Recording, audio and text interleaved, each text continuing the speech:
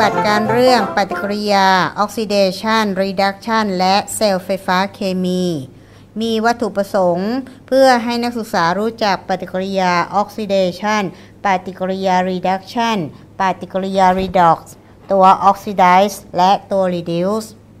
เพื่อหาแรงเคลื่อนไฟฟ้าของเซลล์ไฟฟ้าเคมี เพื่อคำนวณแรงเคลื่อนไฟฟ้า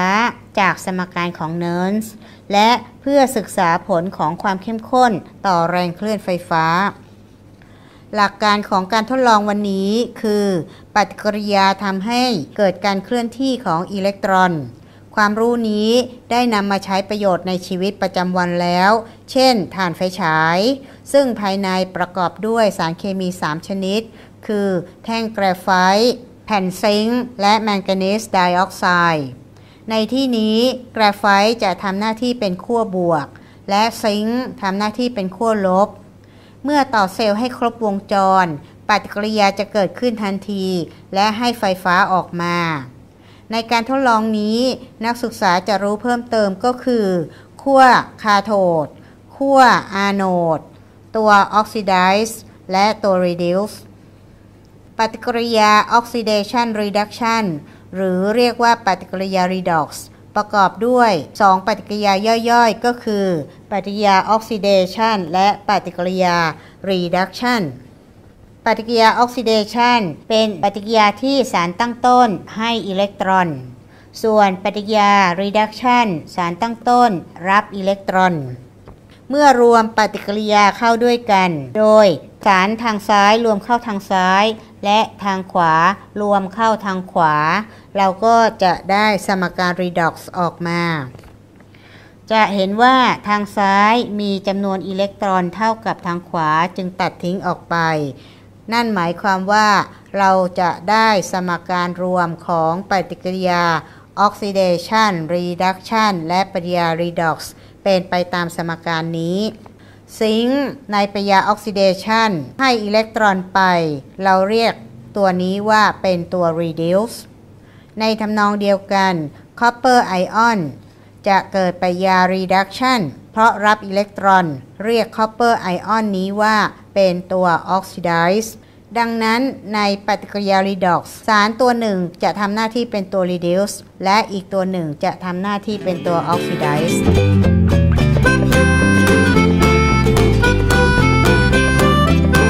จากสมการนี้จะตีความหมายได้ว่า เมื่อจุ่มแท่งซิงค์ลงในสารละลายคอปเปอร์ไอออนแล้ว แท่งซิงค์จะผุกร่อน ในขณะที่มีอนุภาคคอปเปอร์มาเคลือบที่แท่งซิงค์ดังนั้นหากปฏิกิริยาเกิดขึ้น นักศึกษาจะสังเกตเห็นอนุภาคมาเคลือบที่แท่งโลหะนั่นเอง การทดลองตอนที่ 1 มีวัตถุประสงค์ เพื่อหาลำดับของการเป็นตัวออกซิไดซ์และตัวรีดิวส์อุปกรณ์และสารเคมีของการทดลองนี้จะประกอบด้วย โลหะ 3 ชนิด คือ โลหะคอปเปอร์ โลหะเลดและโลหะซิงค์และมีสารละลาย 3 ชนิดก็คือ สารละลายคอปเปอร์ไอออนจากคอปเปอร์ซัลเฟต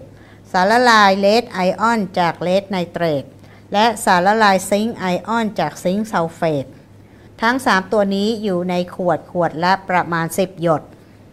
ก่อนทำการทดลองต้องขัดแผ่นโลหะ ด้วยกระดาษทรายเพื่อกำจัดออกไซด์ที่ผิวหน้าของโลหะออกไปก่อน การขัดอาจจะเป็นแบบนี้ก็ได้ แต่ห้ามขัดบนพื้นโต๊ะโดยตรงเป็นอันขาด ซิงค์เป็นโลหะที่เปราะ ดังนั้นควรขัดด้วยความระมัดระวัง จากนั้นให้นักศึกษาทำการทดลอง จำนวน 6 ครั้งตามใบรายงานผล ก็คือจุ่มแท่งคอปเปอร์ ลงในสารละลายเลดและซิงค์ส่วนแผ่นเลดนี้ก็จะจุ่มในสารละลายคอปเปอร์ และสารละลายซิงค์และแผ่นซิงค์จะจุ่มในสารละลายคอปเปอร์ และสารละลายเลดเช่น จุ่มแผ่นซิงค์ลงในสารละลายคอปเปอร์ไอออน เป็นเวลา 30 วินาที เมื่อครบเวลาให้ยกขึ้น และสังเกตการเปลี่ยนแปลงที่แผ่นซิงค์บริเวณที่จุ่มในไอออนนั้น การทดลองใดหากสังเกตผลไม่ชัดเจน ให้จุ่มต่ออีก 30 วินาที และสังเกตผลการเปลี่ยนแปลง ก่อนที่จะนำโลหะไปจุ่มในสารละลายอีกไอออนหนึ่งให้นำแผ่นโลหะนั้นไปล้างและเช็ดให้แห้ง ก่อนทำการทดลองต่อไป จากการทดลองทั้ง 6 นี้ นักศึกษาสามารถสรุป ลำดับการเป็นตัว reduce ของโลหะ และการเป็นตัว oxidize ของสารละลายได้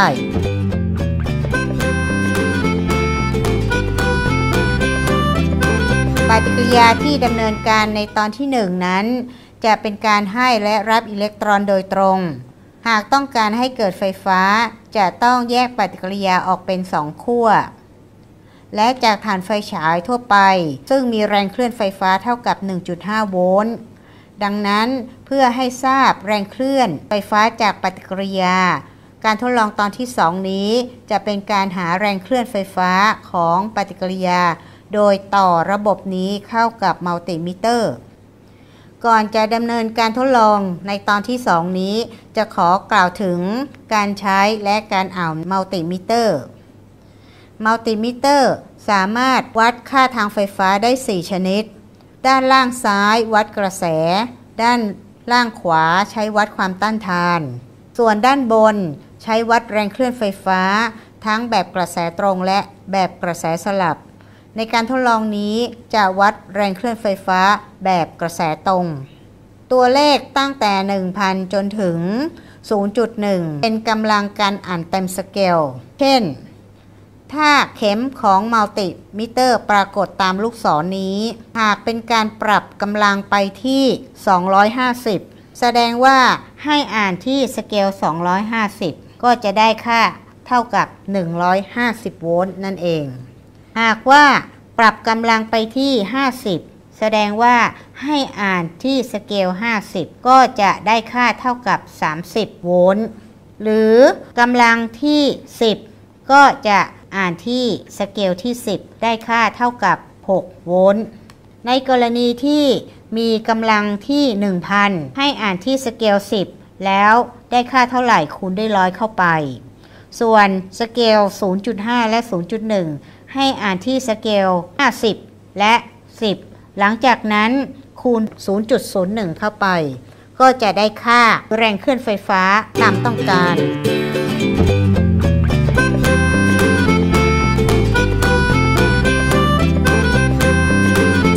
นักศึกษาต้องปฏิบัติทุกครั้งเมื่อใช้มัลติมิเตอร์ก็คือ ก่อนและหลังอ่านมัลติมิเตอร์ ต้องปรับค่ากำลังไปที่ off เสมอ การทดลองตอนที่ 2 มีวัตถุประสงค์เพื่อหาแรงเคลื่อนไฟฟ้าของเซลล์ สารเคมีและอุปกรณ์ประกอบด้วยเครื่องเซลล์ซิงค์ก็คือมีแผ่นซิงค์จุ่มในสารละลายซิงค์ไอออน เครึ่องเซลล์คอปเปอร์ และครึ่งเซลล์ของเลดเลดไอออนตัวต่อมาคือสะพานเกลือ ซึ่งเป็นกระดาษทำให้เปียกด้วยสารละลายโพแทสเซียมไนเตรต อุปกรณ์สุดท้ายก็คือชุดมัลติมิเตอร์ ซึ่งประกอบด้วยมิเตอร์ สายไฟ และสายไฟปากจะเข้ ในการวัดแรงเคลื่อนไฟฟ้า จะต่อครึ่งเซลล์เป็นคู่ๆดังนี้ เซลล์ไฟฟ้า zinc copper เซลล์ไฟฟ้า zinc lead และเซลล์ไฟฟ้า lead กับ copper เนื่องจากความเข้มข้นของสารละลายทุกตัวที่ใช้ในการทดลองตอนที่ 2 นี้ มีความเข้มข้นเท่ากับ 1 โมลาร์ดังนั้นแรงเคลื่อนไฟฟ้าที่ได้ จึงเรียกว่า แรงเคลื่อนไฟฟ้าที่สภาวะมาตรฐาน หรือ E 0เซลล์นั่นเอง การวัดแรงเคลื่อนไฟฟ้า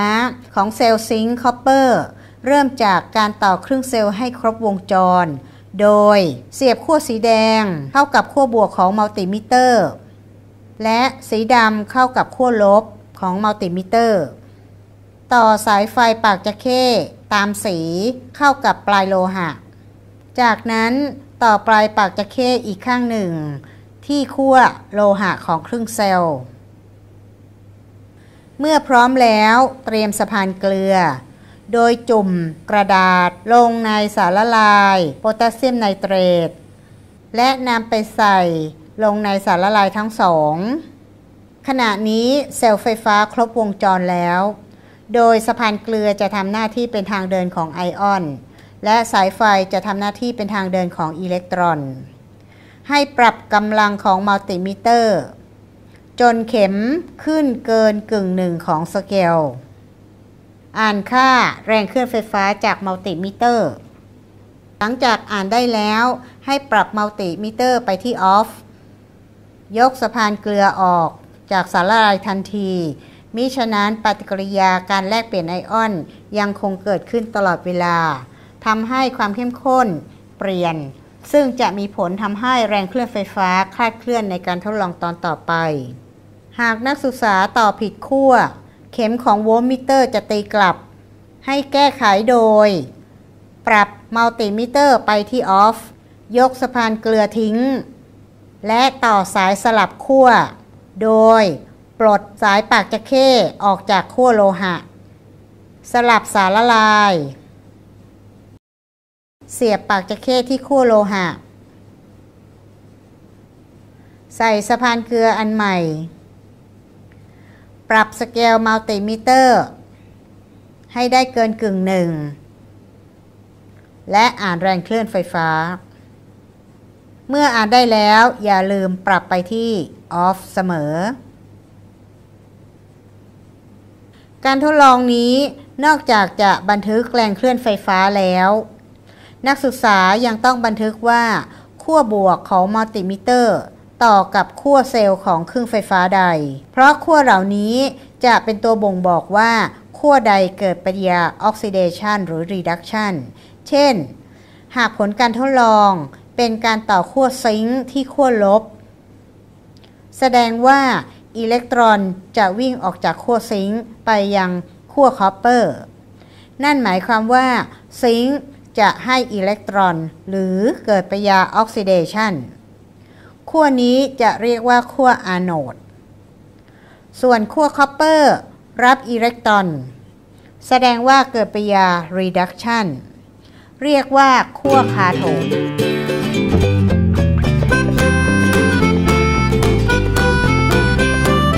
ทำการทดลองซ้ำกับเซลล์ copper lead และ zinc lead การทดลองตอนที่ 3 มีวัตถุประสงค์เพื่อ ให้นักศึกษาสังเกตว่า ความเข้มข้นมีผลต่อแรงเคลื่อนไฟฟ้าอย่างไร การทดลองนี้ให้นักศึกษาทดลองเซลล์ไฟฟ้าระหว่างครึ่งเซลล์ copper กับครึ่งเซลล์ zinc โดยใช้สารละลาย copper ความเข้มข้น 1 โมลาร์ และความเข้มข้นของ zinc จะเป็น 0.1 และ 0.01 โมลาร์ โดยต่อเซลล์ตามวิธีการตอนที่ 2 การทดลองตอนที่ 4 เซลล์ความเข้มข้น มีวัตถุประสงค์เพื่อหาแรงเคลื่อนไฟฟ้าของเซลล์ความเข้มข้น โดยต่อครึ่งเซลล์ของ zinc ที่ความเข้มข้นต่างกันเข้าด้วยกัน ครึ่งเซลล์หนึ่งของ zinc จะมีความเข้มข้น 1 โมลาร์ อีกครึ่งเซลล์หนึ่งก็จะมีความเข้มข้น 0.1 และ 0.01 โมลาร์ สารเคมีที่ใช้ในการทดลองนี้ เป็นไอออนของโลหะหนักทั้งสิ้น ดังนั้นต้องทิ้งสารละลายในภาชนะที่เตรียมไว้ให้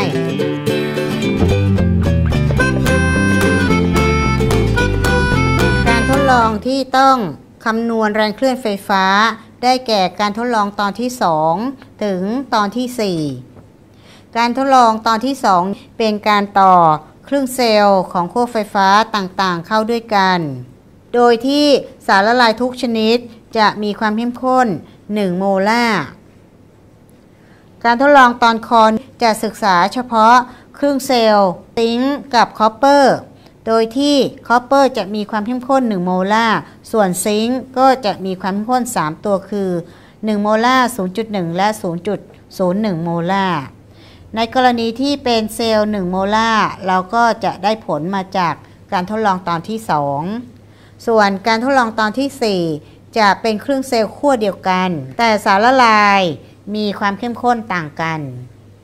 สมการที่ใช้คำนวณ หรือทำนายแรงเคลื่อนไฟฟ้าของเซลล์นี้ เรียกว่าสมการของ Nernstโดยที่ E เซลล์นี้คือแรงเคลื่อนไฟฟ้าของเซลล์ที่เราจะหา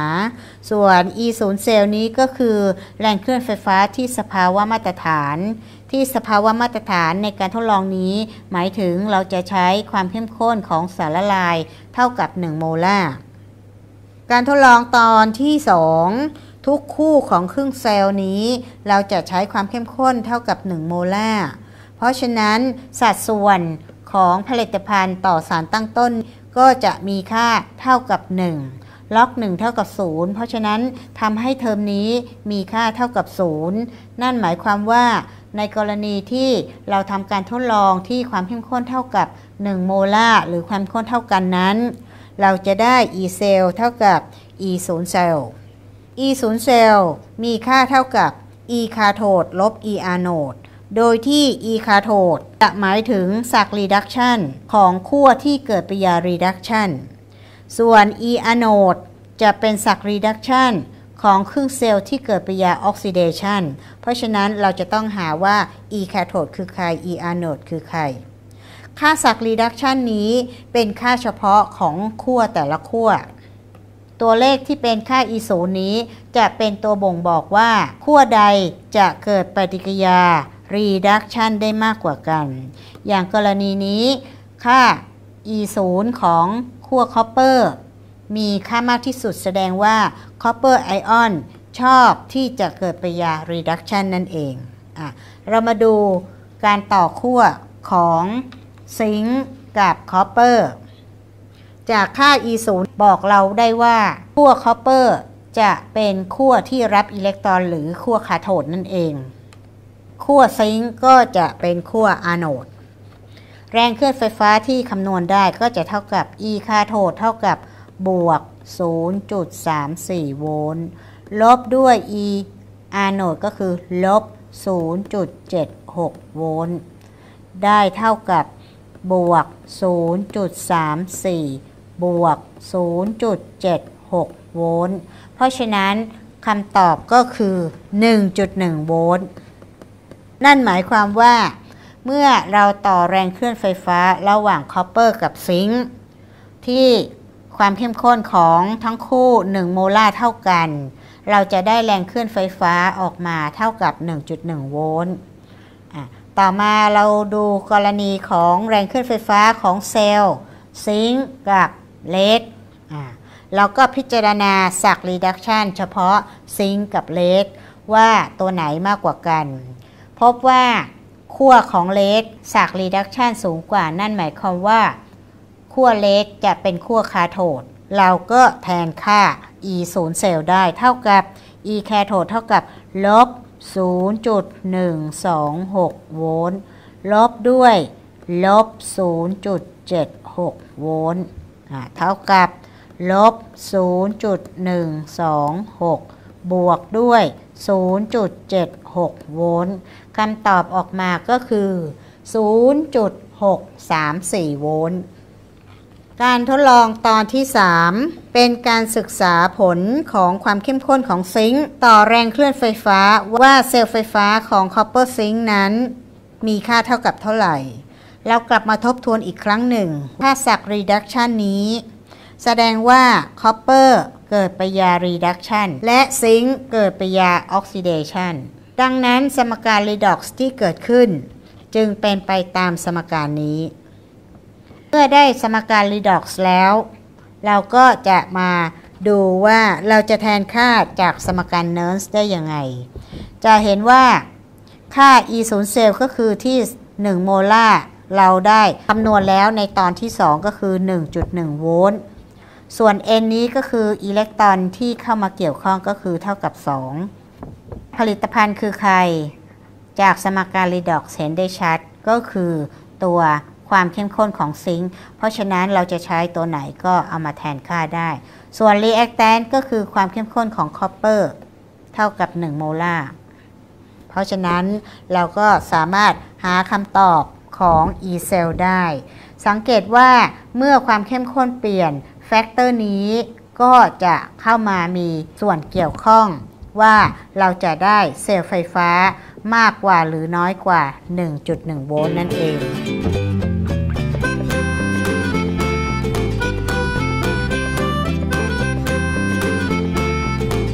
การคำนวณตอนที่ 4 เซลล์ความเข้มข้น